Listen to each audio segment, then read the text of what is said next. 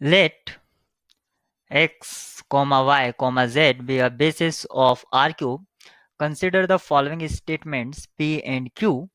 Statement P is x plus y comma y plus z comma z minus x minus z is a basis of R cube and statement Q is x plus y plus z x plus 2y minus z and x minus 3z is a basis of R cube means statement P and Q are about basis.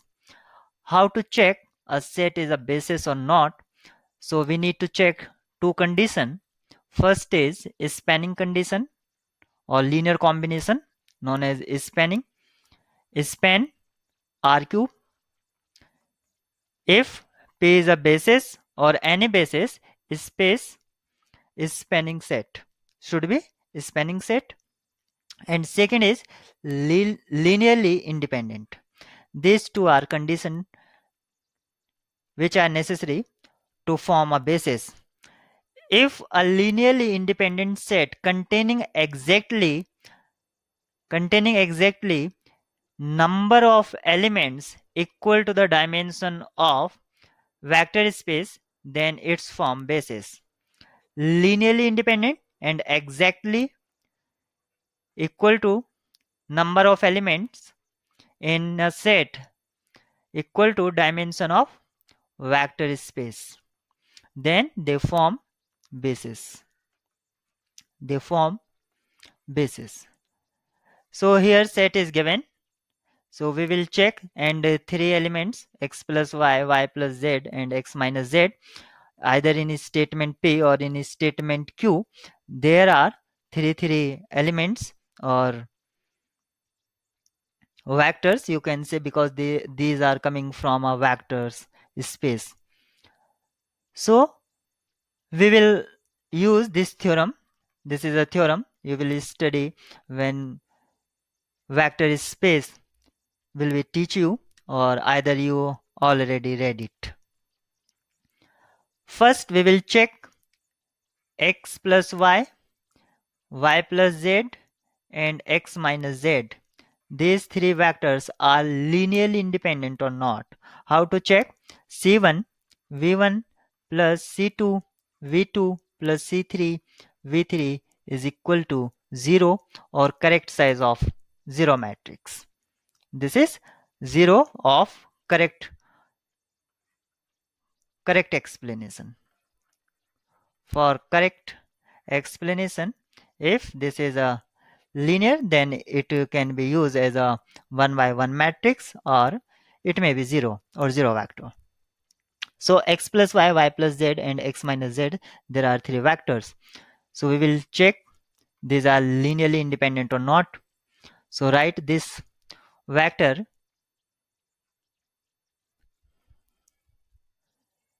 x 1 0 1 1 0 0 1 1 and last one is 1 0 minus 1 if we will form this matrix for these vectors vectors from statements p then it may be of the form this. I write this is column for x this is for y and this is for z. So we will check rank.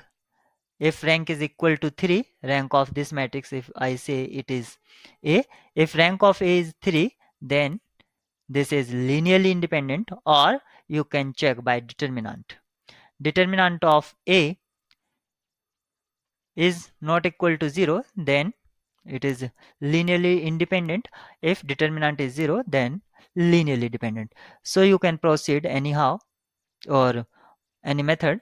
I am going to find determinant because it is easy. So expand this matrix for first row. 1 minus 1 minus 1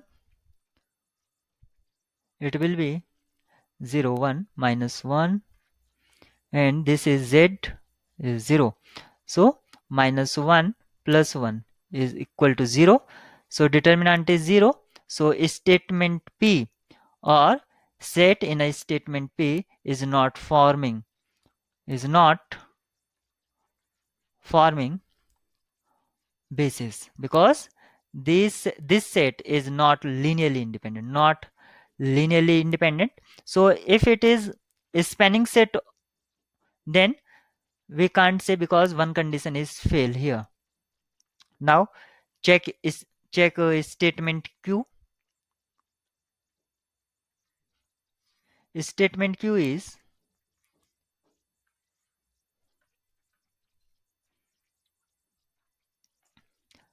directly I am forming matrix representation for statement Q 1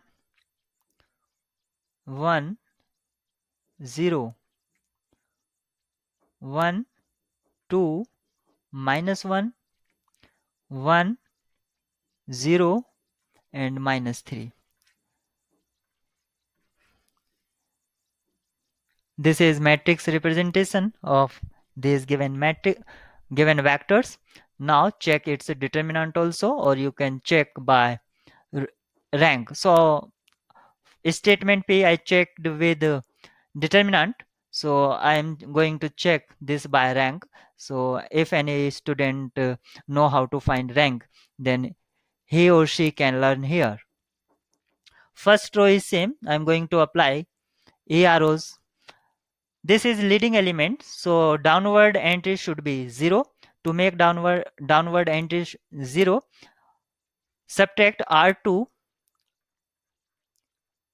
subtract r1 from r2 it will be 0 1 and 0 similarly similarly this one will be 0 minus 1 and minus 3 first is non-zero row. First non-zero this this one is also non-zero and it it it this one is also non-zero row. There are three non-zero row whatever you apply elementary row operation you can't make any row to zero row. So rank of this matrix if i say this is a matrix a then rank is 3 so this set is forming. Because this is linearly independent and having exactly three elements so its form basis. So statement q is true. Now come to the option which one option is true. Both p and q is true statement. So option a is not desired. Only p not true. Only q it is true. So option c is our right choice